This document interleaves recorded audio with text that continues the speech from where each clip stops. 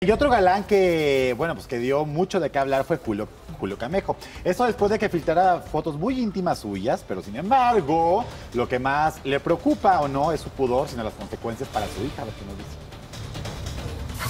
Cuestionamos a Julio Camejo cómo se encuentra tras ventilarse en redes sociales una fotografía en la que aparece completamente desnudo, y esta fue su respuesta. Este.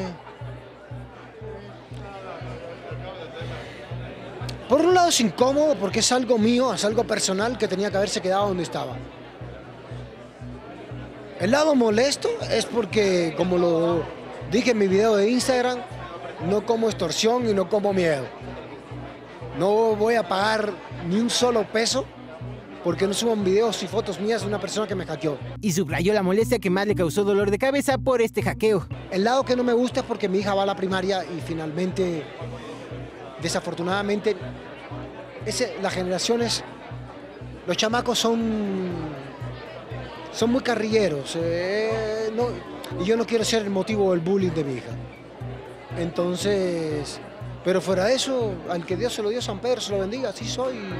¿Qué voy a decir? Que no soy yo.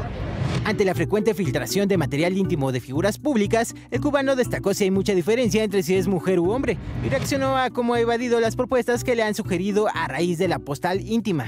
Yo una mujer la veo a mi altura. Puede ser tan buena como yo, o yo puedo ser tan buena como ella, en cualquier aspecto de la vida, en el personal, en el profesional, en el espiritual. Por ende, un desnudo de una mujer o un desnudo de un hombre es sumamente bello porque Dios nos hizo así.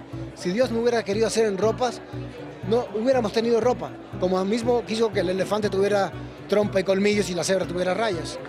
Y ahora el problema, ¿cómo estás evadiendo todas las propuestas que seguramente te están llegando en redes sociales?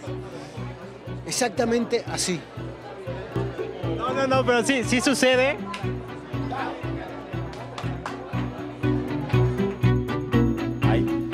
Me espantó cuando le dices así, hija, se está A ver, a ver. presumido.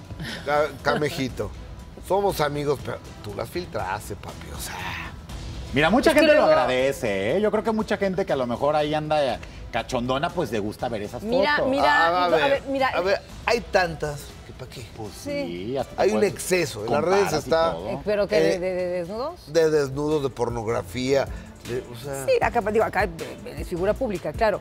Pero eh, tenemos un antecedente de las Kardashian, de Kim Kardashian, que fue justamente ese video sexual el que la llevó a tener la fortuna que tiene hasta este momento. Eso Oye, sí es Así. cierto. Entonces, a final de cuentas, mira, pues, por eso, amiga, funciona. anímate, anímate. ¡Mona! Anímate. Anímate, porque me- le- les voy a contar. Mónica Ándale, me, me dice, ya, Gustavo, arréglame con tus amigos de las revistas, pero eso sí, Hay revistas. no me quito la ropa. No, Entonces... Miren, miren. no, Le que- digo. O sea, que me paguen, pero en traje de baño. No, Ay, sí, Mona, no, ya No, va. pues, a ver, hay una, no, es- te dije para promocionar la tienda de Puerto Escondido, la de bikinis. Y Bus me dijo, no, desnuda. Desnuda. Y no te... Sí, Imagínate. el mono de mona. Digo, no pasa nada, no pasa nada, ¿eh? en la mano. Bueno, mira, mira qué bueno eres en marketing, O ¿eh? sea- Míralo. Mónica, como Dios la trajo bikini. al mundo, y el bikini. Exacto. Bikinis en Puerto Escondido. Está y ponemos bien. ahí la dirección. Lo hablaremos. Ok, Ay. 15%. Porque un- 15%. Mona, mo- Ahí está, ahí está, porque un ahí está. bikini se ve mejor fuera del cuerpo. Órale. de primera mano. Lunes a viernes, 3 p.m. Participa en Imagen Televisión.